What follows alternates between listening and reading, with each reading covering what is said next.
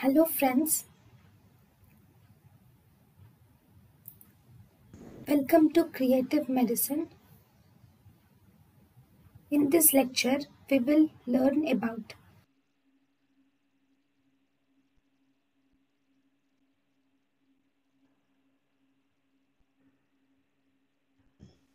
Vitamin D dependent rickets. Vitamin D dependent rickets do not respond to vitamin D therapy. Considered there are two types of therefore there are two types of vitamin D resistant. So these these vitamin D dependent rickets they do not they do not respond to vitamin D treatment. Therefore, they are considered as types of vitamin D resistant rickets. There are two types of vitamin D dependent rickets. Vitamin D dependent rickets type 1 and vitamin D dependent rickets type 2. In vitamin D dependent rickets type 1 is an autosomal recessive disease.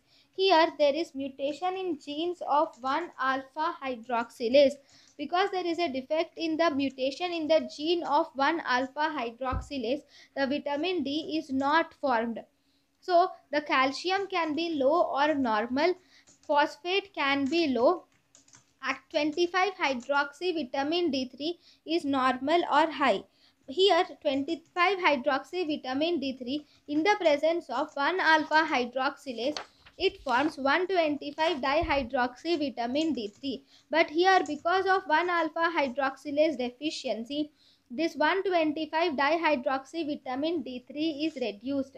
And also you will see that there is hypocalcemia is also seen.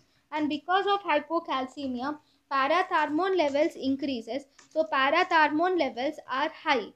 Treatment of vitamin D dependent rickets are calcitriol 0.5 to 2 micrograms per day is given in vitamin D dependent rickets type 1. Vit